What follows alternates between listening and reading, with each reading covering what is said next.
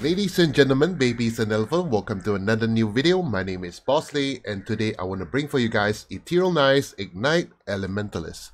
Uh, this is a very budget build, part of my new budget series for the new Sanctum League and I must say the Sanctum League has been very enjoyable so far. I really love this league. Uh, I really had a bad experience last week. I'm pretty much sure everyone else is having the same problem as well, but hopefully I feel that it's a bit better now. Uh, whether it's still as good as before, we don't know. No complaints, but still, every league, it's still very enjoyable in its own way, for me at least. So this is a very uh, budget build. Um, I'll actually go through a few stuff. I'll go through with the build guide and stuff like that, like the usuals. And also I'll go through a little bit on the leveling guide as well, on what skills to level, and uh, when do you switch your skills, uh, some of the skill tree and stuff like that. I'll put in as much information as I can that is relevant. Now for this build, uh, as you can see in the showcase before, the clear speed is absolutely phenomenal. Um, the only thing it lacks is just the uh, single target, but we'll go more on that later on. Uh, how is it a budget? Well, most of the gears are unique, and uh, actually you don't really... the defensive layers are okay as well. So uh, the budget will be, I think, about 70 to 80 chaos for the whole set of gears. Uh, nothing much on the jewels as well. And you have a pretty much smooth time going through all the maps uh, up until like red maps. Uh, I haven't really tried tier 16 yet because currently now I am at a level 87. Uh, I haven't got to tier 16. I think the highest I got up to like 14 or something. But uh, at 14, you're still okay. I'm still doing quite fine. So I think on red maps, you'll do fine as well. Whether or not this is like uh, endgame bosses and all that, I haven't really tried much. Uh, the only thing I think you will uh, actually uh, face that you will you might suffer is just the uh, Uber bosses and stuff that might not be as smooth as you think. But overall, the clear speed is just absolutely fun. Okay, now we're gonna start off with the ascendancy as usual. Now the ascendancy we went for with uh, is the elementalist. Now the elementalist, the first thing you want to start is you want to pick up Shaper of Flames as soon as you can because we are going for Ignite build. Now, um, before you get your first Ascendancy point, do not use EK first because EK will be like full phase and stuff. So the first thing, uh, as soon as you get Shaper of Flames, that's when you switch to uh, Ethereal Knives. Okay. Before that, you might want to use something else. So usually I will go for Rolling Magma. Now, Rolling Magma is a really fun skill because it's like a bowl rolling down and then it will chain and stuff and then you will burn. Uh, I, I find that is actually quite a good skill to use, especially for leveling. Uh, in terms of damage, in terms of clear speed, is still decent. So I would say go for Rolling Magma. Link with like combustion and stuff. And then after that, you switch to uh, Ethereal Knives as soon as you get Shaper of Flames. Now, before that, do not go for Ethereal Knives just yet. Uh, this is the first ascendancy point now. The next one you want to go for will be Mastermind of Discord. Hold on here. Uh, Mastermind of Discord, that will be the uh, second skill that you want to get.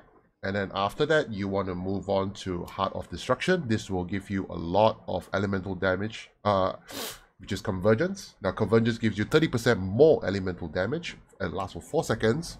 And then when you hit a unique enemy, uh, not more than every 8 seconds. After that, increase 60% area of effect while you don't have convergence. Okay? And then the last one, you're going to get Shaper of Storms because all your damage will be lightning and shocked. And all your damage will be flame and ignite. So you will get shocked, will uh, allow the uh, enemies to take increased damage. And then after that, ignite to burn them. So this is the ascendancy. So one, two, three, and then four. That's the ascendancy. Next, we will talk about the gear choices. Now, the gear choices here is pretty simple and really, really budget. Uh, it holds quite a decent amount of defensive layers as well. Uh, in terms of the defensive layers, uh, like resistances, we have 79%, which is uh, okay, a bit a bit above average thanks to the uh, Saffell's frame. Uh, we have uh, 205 uh, life regeneration. Uh, we have we don't need mana regeneration because we're running Eldritch battery, as you can see here. And then uh, we have like about 60% uh, physical damage reduction, including of uh, Molten Shell, that will be about 65%-ish. And this amount of damage. So uh, the gear for our clear speed will be Obliteration. Now this one currently now will be running about like 1 to 2 Chaos on the market, depending on how good of a roll it is. So let's just say about 3 Chaos for this one. Uh, the helmet will be Devoto's Devotion because of the move speed, Chaos Rest, and most importantly, the dexterity. Now, this build is quite hungry on dexterity and strength, so you need to find other ways to fill in the strength and dexterity elsewhere. So this is where I get my dexterity from. Uh, and then after the Saffell's Frame for good uh, elemental resistances. And then uh, the mainly I use this because of the additional 4% of maximum resistances it will there are much more better shields, even a rare shield which is better out there. But currently now I'm just using this for the time being as I'm on a budget. Okay, we are, because we are only like what one week into the league, so it's still very fresh, and I'm still trying to farm my currency at the moment. Uh, on the amulet, this is like one of the game changers because of Gloomfang. Now, why is it a game changer? You may see that lose life per enemy with hits or spells or attacks. Well, that's not really a big problem because our life regeneration is quite decent and also we get leech on chaos damage. And uh, how does this work? Now, it says here that projectiles that have chain gain 29% of non-chaos ex as extra chaos. Now, if you are if you manage to chain it, the damage will be significant. Like uh, the, the additional 29% of non-chaos will be extra chaos, so you're gaining extra 29% damage and also the projectile speed. Now, how to get this to work is that you need to actually interact with the skill called Hydrosphere. Now, later on, I'll explain on the gem links on how the, the link will work. So basically, you want to cast a brand that links the uh, Hydrosphere on the enemy. And then after that, you want to uh, blast your Ethereal Knives that will hit the Hydrosphere and then it will chain. So that's how you trigger the extra 29% of non-chaos uh, damage and extra chaos. Uh, in terms of the, uh, what do you call, the anointment for the amulet, uh, I'm just using Ash, Frost, and Storm uh, for additional elemental damage and increased effect of non-damaging ailments, which is our shock. Our shock will gain uh, additional uh, uh, effect of 30% and also gives us a chance to, 10% uh, chance to freeze, shock, and ignite. Now, ideally, you might want to get Charisma, which is it should be this one. Yeah, Charisma over here. But this one will cost you two golden oils and one opalescent oil. So this is quite pricey at the moment. So I'll go for this one later on, but not right now. Um, this is the uh, amulet, and then the rings will be Circle of Anguish. Now this one I opted, uh, I opt for, opted for Herald of Ash, increased buff effect, and increased mana reservation uh, efficiency, that which allows me to fit in all the auras currently I'm running now with 33 mana left. So I'm running a Herald Purity, uh, Vitality, Ash, Domination, and Discipline. Um, potentially, you want to move this uh, to uh, Polaric Devastation, which is the ring that is everyone's getting. Uh, the, the, the only reason why you want to get that ring because it covers enemies uh, in Ash when you ignite them. So when you cover enemies in Ash, they'll take more damage from fire skills, basically. So uh, currently I'm just using this. Uh, it still does its purpose. It uh, increase the buff effect on my Herald of Ash and also gives me uh, mana reservation efficiency so that allows me to fit in all my auras. So I'm just using currently this one. And uh, I'm just using Pyre Sapphire Ring uh, on this one just because it gives me a huge chunk of uh, burning damage and also converts 40% of my cold damage to fire damage. And the ignited enemies, uh, enemies you kill by hits are destroyed. Now, what happens when they are destroyed? When ignited enemies are destroyed, uh, they will especially it actually uh, does a good uh, it does something really really uh, it's something really important is that you know those enemies that are like the porcupines? Now the porcupines uh, it's actually quite deadly especially their, their, their spikes their thorns when they come out when they hit you. When a bunch of them all the spikes hits you you can potentially die most of the time. Now when you kill them and they're destroyed uh, their spikes will not trigger because they're destroyed that's why uh, this is actually quite good uh, in certain on certain uh, enemies or mobs uh, because it destroys them, which allows them, uh, which doesn't allow them to trigger whatever on death skills that they have. They have actually, and it's a very cheap. I think it's like two chaos ish, something like that. So that's the uh, ring, and the gloves will be the zealot gloves. So this is just a rare glove. The most important thing from this glove is converting the physical damage to cold and inflicting fire exposure on hit. So when you inflict, uh, when you have exposure on the enemy, that's when our Ascendancy, uh, Ascendancy skill comes in. The exposure will ex uh, um, apply extra 25% of the affected resistances. and also regenerate mana, which is not important. So actually, this is the, uh, the to synchronize with this skill, uh, with this uh, Mastermind of Discord, which gives you about potentially 36% extra fire resist uh, reduction on exposure, and some resist, um, and physical converted cold. The belt actually does its uh, job really well. It costs about 8 to 10 chaos. The most important thing we want from this is actually the life resist. And also the ignite will deal damage 35% faster. So when you ignite them, when you burn them, they burn faster, meaning you kill them faster. Since we're not doing any physical damage, it's fine. And the boots, we are just using this uh, rare boots that gives us inflict damage deal faster as well, 5%. So 35 plus 5, that's 40% faster already on these two uh, equipment itself. I just got a, a, a, enchantment for attack speed and cast speed. So it gives you uh, cast speed and attack speed faster, and some light and some resist. So this is basically the gear choices. Now the gem links, excuse me, the gem links here are quite uh, straightforward. So actually we are using flame uh, flammability. This is self-cursed, okay? And uh, purity of elements, I'm just leveling the skill gem. I was using it before, but I'm not using it anymore. And Vitality, I'm using this now. This will give me some life regen. Uh, your temporary aura skill, which is uh, based on Divine Blessing. So it gives me about 23 seconds. Uh, here, you can see. It gives you about 23 seconds here for Hatred, which is more than enough to kill bosses and stuff. Or you can just trigger it again as soon as your uh, energy shield regens. So uh, Divine Blessing here with Flame Dash, uh, Hatred, and Increased Duration. Mainly is for Hatred. I'm just fitting the Flame Dash over here. Um, over here we have Arcanist Brand with Flame Surge, which is a single target skill for us to uh, go against the uh, single target. And also Hydrosphere, which I mentioned before. So when as soon as you cast the Arcanist Brand on the enemy, it will trigger the Hydrosphere and Flame Surge. So uh, the Hydrosphere will uh, trigger our chain and we gain extra damage. That's how we synchronize our skills. For the uh, auras, we have like Discipline, Determination, Herald of Ash, and Stone Golem for life regen as well. And Herald of Purity over here, we have Molten Shell and Portal. I love portals, so you don't have to carry portal scrolls.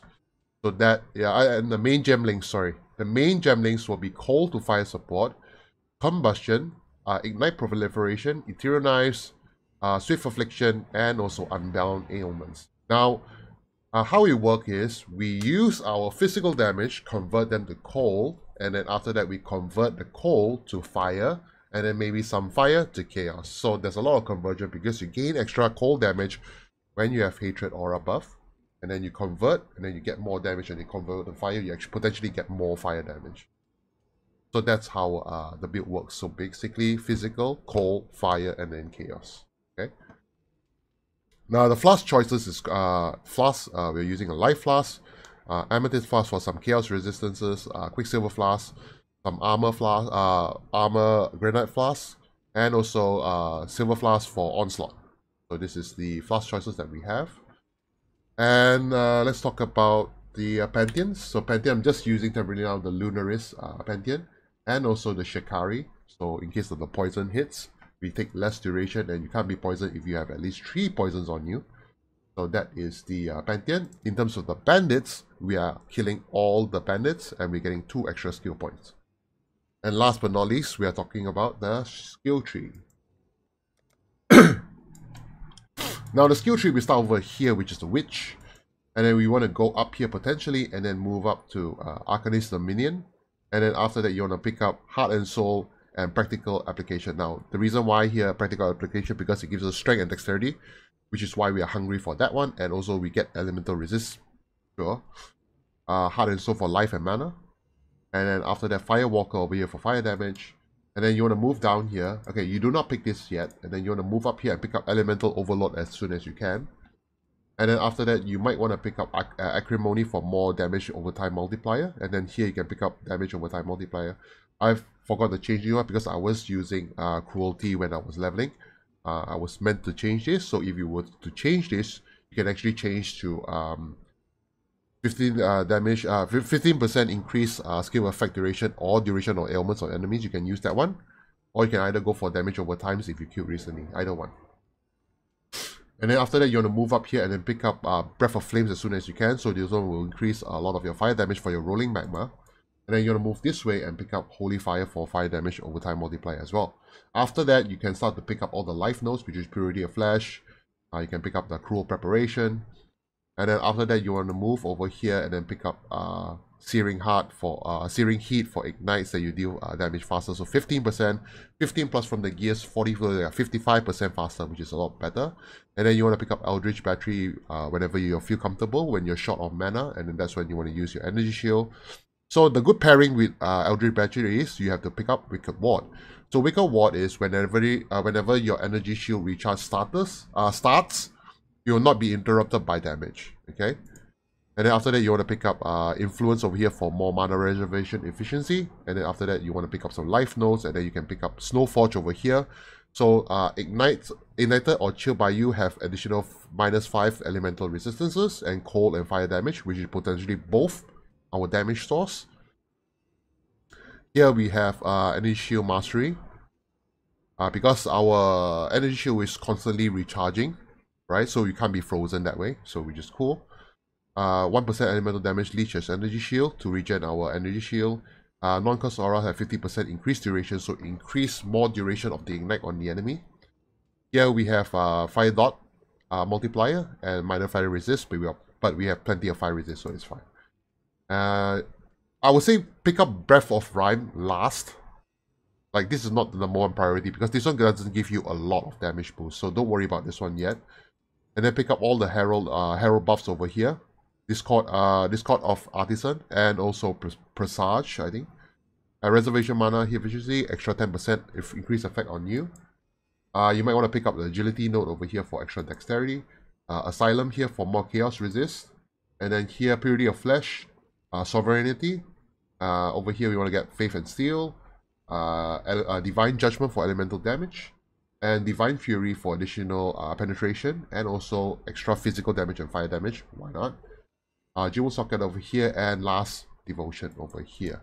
Pick up rest of the jewel sockets and sock in uh, some jewel sockets that give you life dot, multiplier, and life. Some of them over here, and some resist if you need them. Okay, uh, that's basically the whole build overall. Uh, as for the uh, leveling skills, as I mentioned before, you want to use Rolling Magma uh, linked with uh, Combustion. as soon as you get the uh, first Ascendancy skill point, which gives you the uh, sorry what was that again? Which gives you the uh, of flames. That's when you can start to use ignite uh, ethereal knives and that's when you see everything pops on your screen. Late uh, of course you need to um, uh, what you call uh, use it uh, pair, it pair pair it with the uh, herald of ash and herald of purity which gives you a lot more damage as well because it gives you more physical damage which converts it to uh, fire and cold and so on and so forth so rolling magma, you want to level with rolling magma first. And then after that, you want to move on to ethereal, knives. And then ethereal knives will pretty much carry you all the way to the end. It's just only two skill uh, that you need to change a skill. That's about it. And uh, you can pretty much run uh, any type of aura skill as soon as you can, uh, as soon as you're able to obtain them, right? Any aura skills is fine. Uh, overall, my experience with this build, the clear speed is just really, really good. Okay, now, uh, I'll just give you guys something extra. I'll just run a map. I'll do a showcase here. So you can have a look and see how the map, uh, how the build feels like. So I'm just going to run a high, highest tier that I have here. I have, uh... okay, since I haven't done this one yet, I'll just do this, right? So this one, okay, the stats doesn't look too bad, right? You need to corrupt it though. Okay, fine. So we have this let's just run it with uh let's go with Searing Exarch as well. Let's see how well how well does this spell do. Uh, in terms of the uh, clear speed, it's just really really fun. You will see soon and uh, how does everything pop. Let's hope the internet is well today because so far recently the internet is really really bad in my area. Okay, let's see. Let's see. Oh, there we go. Starts to pop. I'm feeling a bit under the weather at the moment, so uh, apologize if you find the audio a bit disturbing or not satisfying. You know? Oh.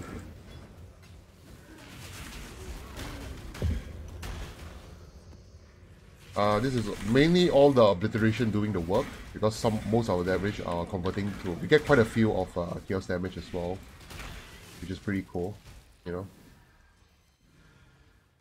Um, let's pick up this sanctum bolt. Oh crap. Okay. Oh, we can't store this. We'll do this later then. Waste time doing this.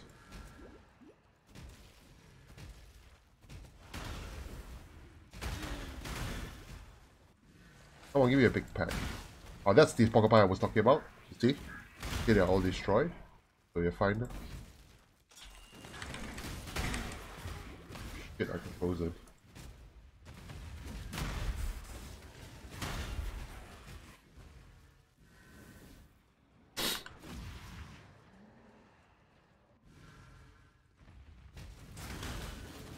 because of the ignite, right? Because the damage, uh, the the damage, the ailment, the ignite triggered a lot fast, uh, burns a lot faster.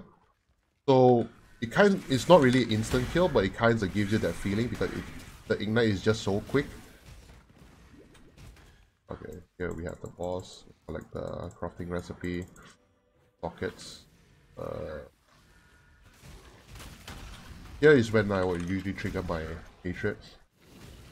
Because when it comes to single target, I think it's a bit uh, on the weaker side. Yeah, but uh, so we cast this, cast this, and then boom, boom. So it's gonna take some time. I wouldn't say that long. But, you know, single target, pick on the weaker side, and this is a corrupted boss as well.